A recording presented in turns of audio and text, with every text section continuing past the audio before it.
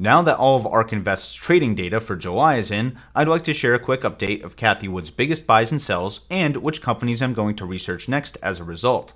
Full disclosure, I'm an ARK Invest shareholder, and I'll be talking about companies that I have huge positions in, like Tesla and Teladoc.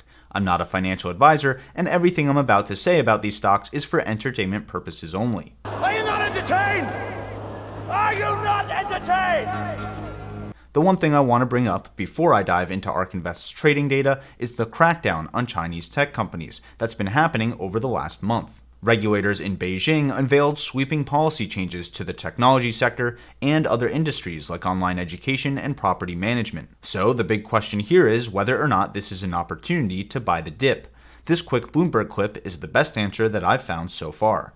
Now you're down to less than 1%. So there's a clear change. And it's not just an ARK innovation either. Uh, you've seen that in the ARK next generation internet down to 5.4%. That's lower than any month end uh, based on our data uh, since October 2014. So you know, I mean, it's not all the funds. Uh, ARK FinTech Innovation still has around 18% of its assets in Chinese companies. Nonetheless, I mean, there is a clear trend. ARK Innovation had four companies that they were invested in. Uh, two of them they've completely sold out of uh, the search service Baidu and also the streaming music service Tencent Music Entertainment, which leaves two at this point KE Holdings, an online real estate broker, and Huya video game streaming company. And they've cut their uh, stakes in those two businesses by about three quarters from where they were just a few months ago. And Wood expects the declines to uh, hold on for a while. Hey, Dave, question on that. Uh, how has it affected the ETF performance? Clearly, those stocks were down hard in the last three months. Uh, how is the performance doing now? Well, backing away from them, you can argue, has paid off for uh, Cathie Wood because you know you look at uh, the the ARK Innovation shares. I mean, they peaked back in February. They were down more than 30 percent through uh, mid-May, and since then they've managed to come back. Even as you know, the Chinese companies listed in the U.S. have kind of been suffering because of all the moves the government has made to kind of rein in the industry. So you know, put it all together and you, have seen ARK Innovation kind of recoup about half its uh, February to May loss at a time when we've seen these Chinese companies uh, just take hits here, basically. Usually, Cathie Wood makes calls that are against the grain and buys the dip when this kind of news comes out. But this time, she trimmed her Chinese holdings by over 80% from February highs and by over 30% in the last month alone. ARK Invest has sold tons of shares in stocks like Huya, KE Holdings, Tencent, Pinduoduo, Meituan, Baidu, and Alibaba. So even though some of these great companies are looking cheap right now, I'm looking at this as a serious warning about how we should be pricing in these types of regulatory risks. Make sure you're really thinking about future crackdowns by Chinese regulators and updating your investment thesis in these kinds of companies accordingly. Alright, onto the data. If you combine all of Cathie Wood's actively managed funds, here's what's at the top as of July 30th. Tesla, ticker symbol TSLA, is leading the pack with well over $3 billion across ARKK, ARKW, and ARKQ, which are the red, green, and light blue bars respectively. Tesla is the biggest position in every fund it's in, and is over 7% of all of ARK Invest's combined assets under management. Teladoc, ticker symbol TDOC, is ARK Invest's second biggest position by a pretty large margin as well. Cathie Wood has well over $2 billion in Teladoc, and I wouldn't be surprised to see that number keep climbing in the near future. In my opinion, the market is totally misunderstanding why Teladoc is underperforming expectations on earnings per share, and I made an episode dedicated to explaining my reasoning. I'll leave a link to that in the top right hand corner of your screen right now and in the description below as well. Based on that research, I've been accumulating hundreds of shares of Teladoc since March, and I'm aggressively averaging down. As a result, Teladoc is quickly becoming one of my biggest positions overall. Pray for me. Here's another look at that same information, but in table form. That way, you can see how much of each stock is held in each fund. Each row is one stock, each column is one ARK Invest fund, and they're sorted by the total amount of money that Cathie Wood has in that stock today. Note that out of ARK Invest's top 10 holdings, only two are in ARKG right now, and almost all of them are in ARKW. In my opinion, that means Cathie Wood has greatly increased conviction in internet companies relative to genomics and healthcare companies, both of which compete for dollars in ARKK. So, if you're looking for new stocks to research, I'd be looking at things like digital wallets, e commerce, streaming services, online communications, and professional services platforms. Next, let's look at how assets under management changed for each fund since that provides us with a baseline to compare against. Here's a plot showing how each fund has changed over the last four trading weeks. ARKK, ARKG, and ARKQ all got around 10% smaller in the last month. ARKW and ARKF are each about 5% smaller, and ARKX, which just launched last quarter, isn't changing much in size at all, still representing under 2% of all of ARK Invest's actively managed funds. It's worth noting that ARKK is bigger than all of the other funds combined, representing 51% of Cathie Wood's assets under management. Overall, their AUM fell by about 8% over the last month, so we're looking for position changes that are much higher or much lower than that negative 8% number. Here's how their combined positions have changed over time. Each row is one stock, and the rows are sorted by the total size of ARK Invest's position in that stock and each row is colored by the change in that position over the last month. So the more green the row, the more that position has grown relative to ARK Invest's assets under management.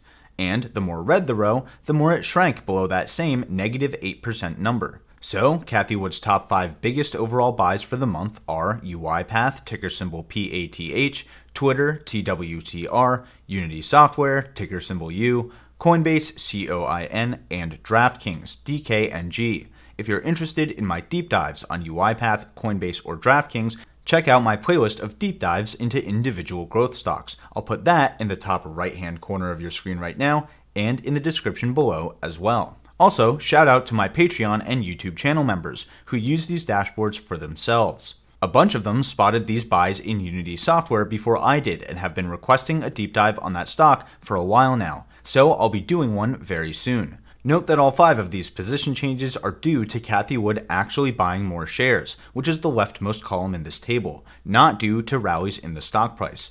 Likewise, another call out worth making is that out of ARK Invest's top five positions, the only one Cathie Wood is actually buying more of over the last month is Teladoc as its price continues to slide.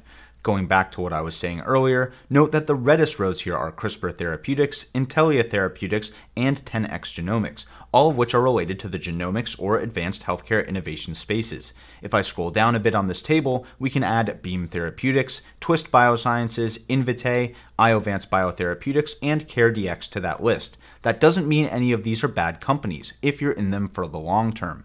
Like I said earlier, it means that Cathie Wood would rather put money from ARKK into internet companies rather than genomics companies, probably because she thinks they have a lot of room to run in the near future while the genomics age is still a little ways away. Also, note that Skillz stock dropped in price by over 30% since the start of the month, and Cathie Wood has actually trimmed her position by 12% over that same time frame. Don't forget, just over 90 days ago, ARK Invest's position in Skillz was literally four times smaller than it is right now, even after these sells. So I'm not sure if this is a legit loss in conviction or if there were just so many great opportunities in other internet companies that Skillz had to get trimmed a bit to free up some cash. Now that I've gone through how to read these tables for ARK Invest's combined positions, I'll quickly show you the tables for each individual fund and point out some interesting trends. Feel free to pause the video and take screenshots as necessary. Let's start with ARKK, ARK Invest's flagship innovation fund. We can see that the same trend of rotating out of genomic stocks and into the stocks I mentioned before is happening here. Coinbase, Unity Software, Twitter, UiPath, and so on. Another thing worth pointing out is that while it looks like Cathie Wood sold a lot of Roku, a lot of the sells actually happened around Roku's most recent rally before coming back down in price. So I think this was a trade around price action, not a loss in conviction. I always keep my eye on ARK Invest's biggest positions overall, so I'll keep you updated if I think something with Roku has actually changed. Here's the bottom half of ARKK by weight. Robinhood, ticker symbol HOOD, just IPO'd a couple days ago and it's already over a $120 million position inside ARKK, and ARK Invest's 59th biggest position overall. The same type of initial pattern that we saw with Coinbase stock, which is now ARK Invest's sixth biggest position. I wouldn't be surprised if Cathie Wood's position in Robinhood kept growing in the very near future. Personally, I'm hesitant to invest in Robinhood because of their role in the whole GameStop short squeeze fiasco and the fact that they make most of their money by selling their order flows to other market makers. That basically makes them an intermediary, the exact type of company I typically try to avoid. So there's obviously some balance here between all of the innovative things that Robinhood has done as a digitally native investment platform and all the risks and drawbacks that come with them being such an obvious middleman. Comment below if you want me to do a deep dive on Robinhood in the near future, or if any of the other companies that I've mentioned so far interest you. I'm excited to hear which companies you're interested in the most. Note again that the reddest rows are Skillz stock, followed mostly by companies found in ARKG, like I mentioned earlier. Speaking of ARKG, let's move to that fund next. ARKG is ARK Invest's fund themed around the genomics revolution the biggest positive change to the fund was actually UiPath, which is still the only company to be in every single ARK Invest fund. Besides Novartis and 10x Genomics, many of these shrinking positions are due to these stocks dropping in price by 20 to 30% over the last month, dropping ARKG's price by almost 9% over that same period. Moving to the bottom half of ARKG, we can see that many of the smaller positions shrank by 20% or more as well, and that cash was used to buy Repair Therapeutics, ticker symbol RPTX, Quantum SI, ticker symbol QSI, and Verve Therapeutics, ticker symbol VERV. So, if you're looking into specific companies in the genomic space, those three companies are a good start for further research. And if you're into ARKG in general, the skill I would practice here is dollar cost averaging down, because this is a longer term play. Think about how big you want your total investment in this space to be and don't rush into it. Again, I'm not a financial advisor, and that's just my two cents. Let's move on to ARKW, ARK Invest's fund themed around the next generation of internet applications. Here we can see the same stocks I mentioned earlier topping this list again.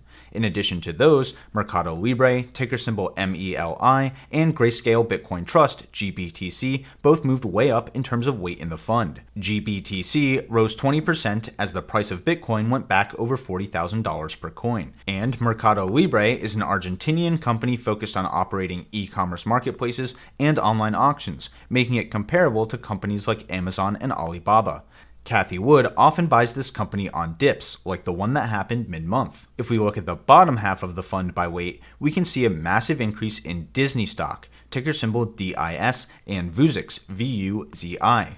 Disney's streaming service, Disney Plus, is always going to be a solid business due to the sheer amount of IP that Disney owns, like Marvel, Star Wars, ESPN, and so on. Vuzix is a company that makes smart glasses for virtual and augmented reality in industrial applications, and it looks like Cathie Wood has just been accruing shares based on the latest dip in price.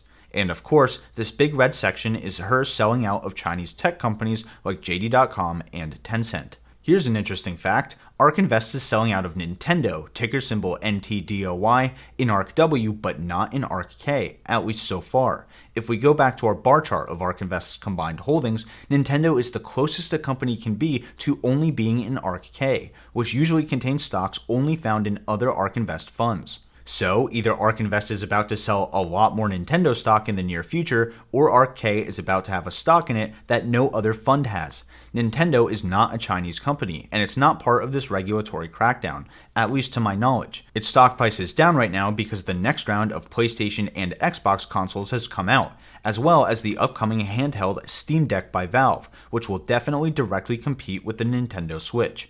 I'm excited to see what Nintendo's answer will be, but they definitely need one if they want to remain competitive. For ARKF, ARC Q, and ARKX, I'll only focus on the bigger positions because these funds are so small. The smaller positions in these funds tend to move up and down a lot, since they're some of ARK Invest's smallest positions overall. First up is ARKF, ARK Invest's fintech fund.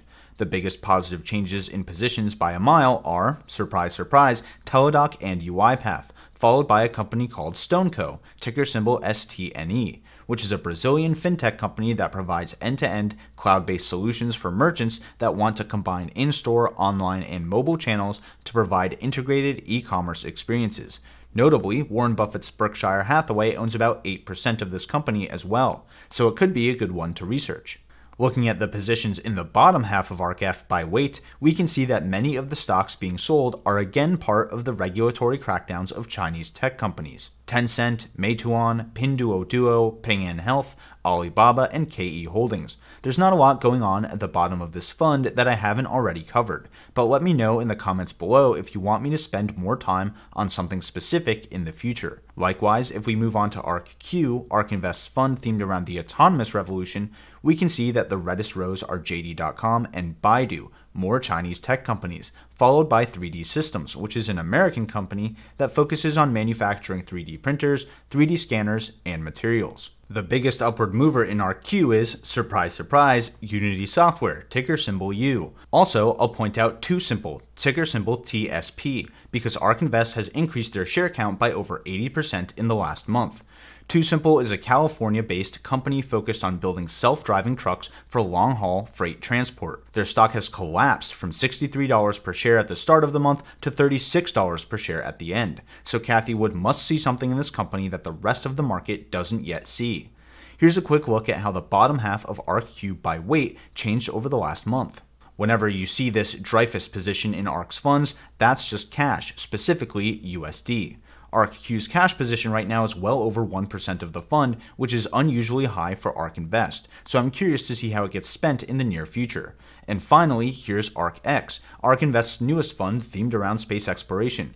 This fund is tiny, and the biggest additions to it are Unity Software and UiPath yet again, as well as AeroVironment, ticker symbol AVAV, which is an American defense contractor that primarily focuses on unmanned aerial drones. They reported earnings right before the start of July, and their stock promptly dropped by about 15% due to missing revenue estimates. So, Cathie Wood has been buying the dip. Here's the bottom half of ARKX by weight, just for completeness. Alibaba, Meituan, JD, and Tencent are all getting sold out, and the cash position inside the fund has increased as a result. The only other thing I'll point out here is that Nvidia, ticker symbol NVDA, had a 4 for 1 stock split on January 20th, which is why these numbers look so extreme. Overall, only a slight 10% decrease to ARKX's actual position in Nvidia. Let me know in the comments below what you think about these monthly recaps. Is it helpful for you to see ARK Invest's biggest buys and sells in each fund, or should I just cover their combined positions and talk more about each individual stock? I'm definitely happy to adjust these recaps based on your feedback. And of course, if you're interested in tracking this data for yourself in real time instead of waiting for my monthly recaps, these dashboards are available to my disruptor and insider level patrons on Patreon and channel members right here on YouTube. You can get access to them for yourself using the links in the description below. Either way, I hope this episode helped you understand which companies ARK Invest has been buying into over the last month, which companies they sold as a result of this regulatory crackdown in China, and other stocks I'm watching out for, like Skillz, Robinhood, and Nintendo. If it did, let me know by investing in the like button and subscribing to the channel with all notifications turned on. That's a great way to stay up to date on all things ARK Invest and invest in the channel that invests in you. Until next time, this is ticker symbol U. My name is Alex, reminding you that the best investment you can make is in you.